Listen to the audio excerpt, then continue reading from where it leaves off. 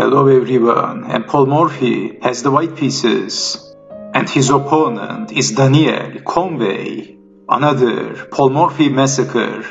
So this game was also a very beautiful chess game of Paul Morphy from 1859. And let's quickly check out this beautiful chess game. Paul Morphy starts the game with playing e4, e5, f4, king's gambit. Daniel Conway accepted the gambit. E takes on f4, knight to f3, g5, bishop to c4, g4, attacking the knight. Morphy didn't want to defend the knight, and he sacrificed the knight with playing d4. Conway captured the knight. G takes on f3 and queen takes on f3 by Paul Morphy. Bishop to h6 and Morphy castled. Knight to e7 and bishop takes on f4 by Paul Morphy. Finally capturing the pawn.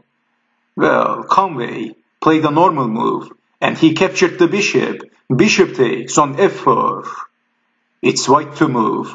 And once again, Paul Morphy, unlike his opponent, didn't play a normal move.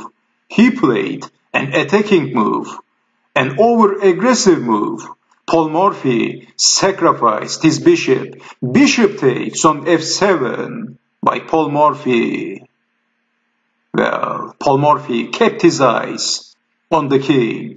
Well, black captured the bishop. King takes on f7 and queen takes on f4, king to g7, queen to f6, king to g8, queen to f7 by Paul Morphy. Check, mate.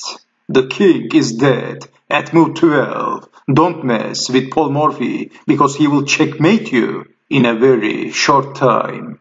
This was a sweet chess game, fun to watch, exciting and beautiful. So thank you for watching and I hope to see you next time. Take care and bye bye.